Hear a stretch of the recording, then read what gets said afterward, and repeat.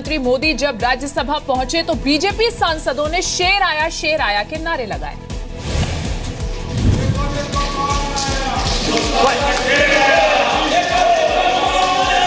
Question 152 UP और उत्तराखंड की ऐतिहासिक जीत से पीएम मोदी का सियासी कद ऊँचा होने की झलक आज राज्यसभा में भी दिखाई दी। मोदी जैसे ही राज्यसभा पहुँचे, बीजेपी सांसदों ने शेर आया शेर आया के नारों से उनका स्वागत किया। जैसे कल लोकसभा में सांसदों ने जय श्री राम भारत माता की जय और मोदी मोदी के नारों से किया था।